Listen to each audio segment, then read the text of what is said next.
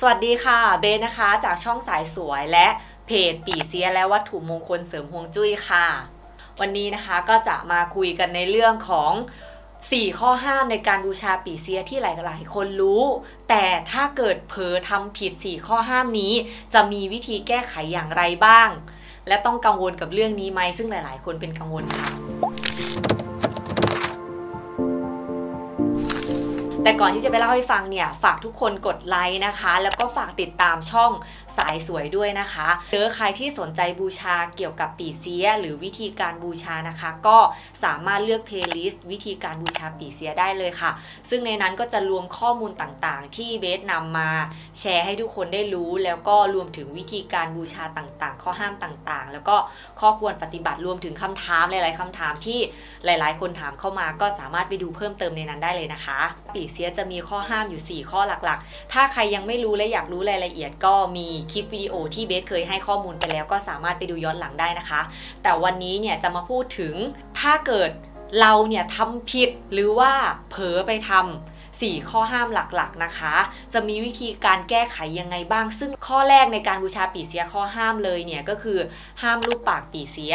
ซึ่งหลายๆ คนเข้าใจผิดคิดว่าห้ามลูกปากตัวเองหรือเปล่าอะไรอย่างเงี้ยเผลอกินข้าวเราเช็ดปากอย่างนี้ ถ้าปากเราไม่เป็นไรค่ะ ถ้าเรากินเปื้อนกินเลอะเราก็จำเป็นต้องเช็ดค่ะ แต่ที่ห้ามจริง ๆ คือห้ามลูกปากปีเสีย เอาจริง ๆ นะ ยังไม่มีวิธีการแก้ไข เราทำได้แค่หลีกเลี่ยง คือมีสติตลอดเวลาถ้าเราเผลอไปแล้วเราก็แค่อย่าทำอีกเท่านั้นเอง และเบสจะบอกว่า ปีเสียนะคะ งานสร้อยข้อมือส่วนใหญ่จะไม่ค่อยมีปัญหาเรื่องนี้ที่ว่าไปรูปปากปีเสีย เพราะว่าองค์ปีเสียเนี่ยเขาจะหันเข้าหาหินมงคลหรือว่าเป็นเชือกอยู่แล้ว ถ้าเรารูปยังไงส่วนใหญ่ก็ไม่โดนปาก แต่กรณีที่เขาห้ามลูกปากคือเวลาที่เราบูชาแบบตั้งโต๊ะ ซึ่งงานตั้งโต๊ะปีเสียจะเป็นองค์ใหญ่แบบนั้นนะคะก็คือเราสามารถรูปส่วนอื่นขององค์ปีเสียได้แต่ห้ามรูปปาก ซึ่งการรูปปากมันก็เหมือนกันทำให้เงินทองรั่วไหลออกประมาณนั้นค่ะ ฉะนั้นใครที่บูชาในลักษณะเป็นสร้อยข้อมือหรือว่าเป็นสร้อยคอเป็นจี้อะค่ะ ก็ไม่ต้องกังวลในเรื่องนี้ว่าจะทำผิดข้อนี้ เพราะว่าเป็นไปได้น้อยมาก ยกเว้นว่าคุณตั้งใจที่จะรูปปากจริง ๆ ข้อห้ามในการบูชาปีเสียข้อที่2เนี่ยก็คือ หากบูชาไปแล้วห้ามยกให้คนอื่น เบสต้องแยก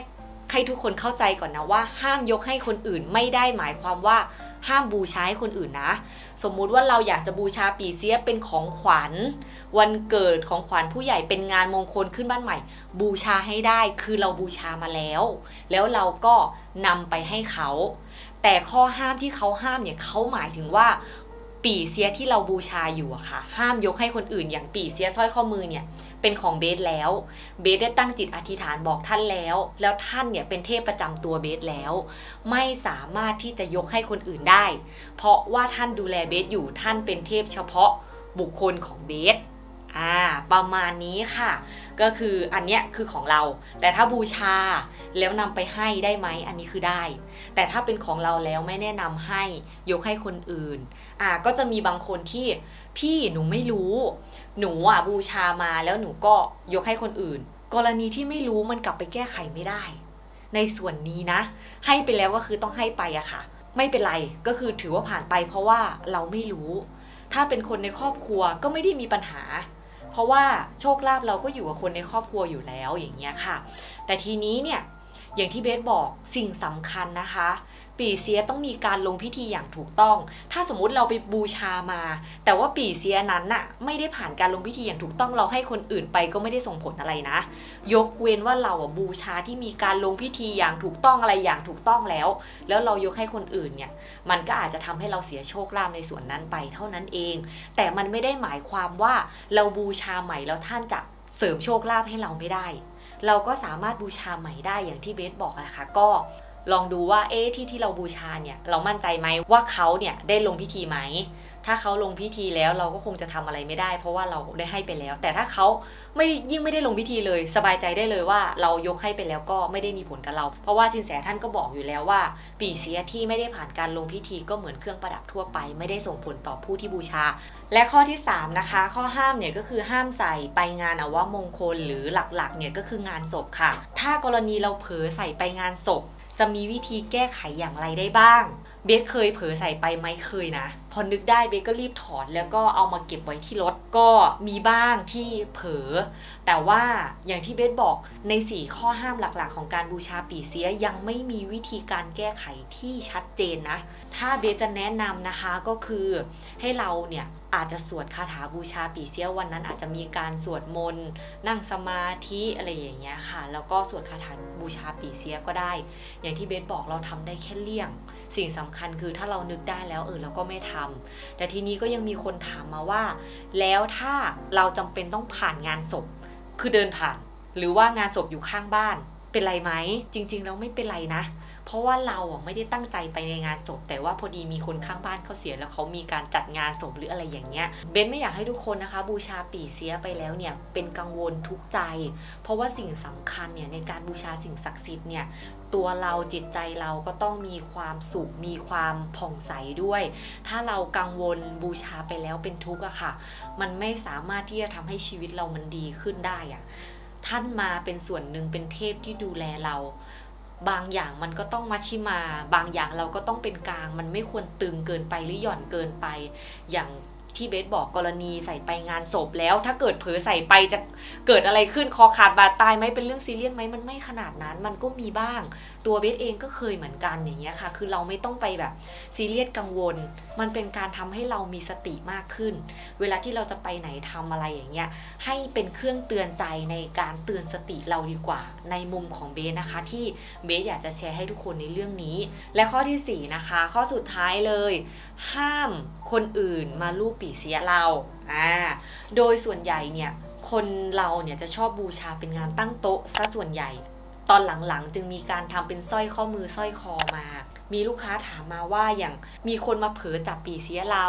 สิ่งแรกเราต้องดูก่อนว่าเขาเจตนาไหม บางคนเขาไม่รู้อะค่ะ ถ้าเขาไม่ได้มีเจตนาก็ไม่เป็นไร อันนั้นก็คือไม่ได้ต้องซีเรียสขนาดนั้น อย่างที่เบสบอกเราก็ต้องมีสติอะเออ อาจจะแบบจับหินได้นะ จับเชือกได้นะ แต่ว่าเอออย่าจับองค์ปีเสียนะ เพราะว่าท่านลงพิธีนะ อะไรอย่างเงี้ยเราก็อาจจะบอก คนรู้จักเราอะไรอย่างเงี้ยค่ะ เพราะว่ายิ่งถ้าองค์ปีเสียสวยนะ มันก็เป็นธรรมชาติที่แบบคนเห็นแล้วจะแบบเผลอขอดูหน่อยจับหน่อยอะไรอย่างเงี้ยเราแค่ระวัง แล้วก็กรณีที่ไปเดินชนคนอื่น หรือว่าแบบไปสัมผัสคนอื่นนะคะเราเดินสวนหรือว่าขึ้นรถเมล์อะไรอย่างเงี้ยมันต้องสัมผัสปีเสียเป็นอะไรไหมอะไรเงี้ยไม่เป็นไรนะคะ อันนั้นคือ มันเป็นปกติเราใช้ชีวิตอะค่ะมันก็ต้องมีบ้างที่จะต้องถูกหรือสัมผัสคนอื่น แต่มันไม่ใช่การจงใจมาจับแบบนี้ คือที่เขาห้ามเนี่ยคือห้ามแบบตั้งใจมาจับของเราเลย มันลูบปีเสียเราเลยอะไรอย่างเงี้ย แต่ว่ากรณีที่เราทำกิจวัตรประจำวันนะคะ ที่มันจำเป็นต้องทำก็ไม่เป็นไรเราก็ไม่ต้องไปกังวลขนาดนั้น ไม่ต้องไปคิดมากขนาดนั้นอย่างเงี้ยค่ะ คือเราใช้ชีวิตปกติได้เลยทำอะไรปกติได้เลย เพียงแต่เรามีท่านเนี่ย เหมือนเป็นกำลังใจ เหมือนเป็นเทพที่ดูแลเราส่งผลให้เราในวันที่เราต้องออกไป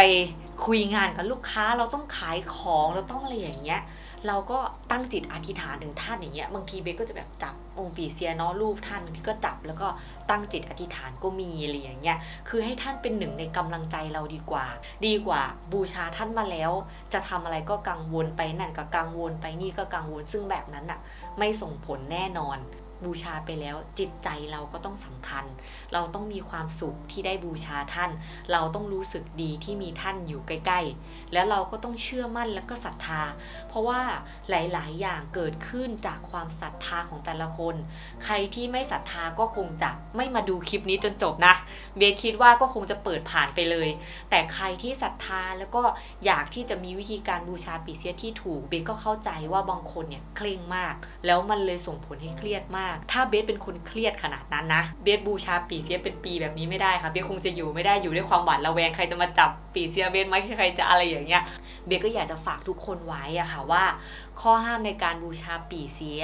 เราปฏิบัติได้เพื่อให้เราเนี่ยมีสติ แล้วก็รู้ว่าเราอะ ควรจะปฏิบัติแบบไหนในข้อห้าม แต่ถ้ามันเกิดการผิดพลาดไปแล้ว ยังไม่มีวิธีการไหนมาแก้ไขได้อย่างชัดเจนเนาะเราทำได้แค่หลีกเลี่ยง แล้วก็พยายามไม่ให้เกิดขึ้นอีก หรือมีสติมากขึ้นบูชาท่านในแบบที่เรามีความสุขด้วย สามารถใช้ชีวิตตามปกติได้ด้วย ก็หวังว่าคลิปนี้นะคะ จะมีประโยชน์สำหรับใครหลาย ๆ คนที่กังวลมากกับการบูชาปีเสียแล้วเผลอทำผิดข้อห้ามไปนะคะ ก็จะได้สบายใจขึ้นกันนะ แล้วก็จะได้รู้วิธีการปฏิบัติ แล้วก็ไม่ต้องกังวลมากเกินไปค่ะ ยังไงก็อย่าลืมนะคะ ฝากกดไลค์แล้วก็ฝากกดติดตามด้วยช่อง YouTube สายสวยนะคะ หรือใครที่อยากจะบูชาปีเสียที่มีการลงพิธีอย่างถูกต้อง รวมถึงรู้วิธีการที่บูชาถูกต้องด้วยก็สามารถทักไลน์ได้นะคะเบสจะแปะลิงก์ไลน์ไว้ให้หรือ Facebook นะคะ เพจปีเสียและวัตถุมงคลเสริมฮวงจุ้ยค่ะ จะเป็นรูปเบสเลยค่ะ ขึ้นหน้าปกไม่มีใครแน่นอนค่ะ ขอบคุณค่ะ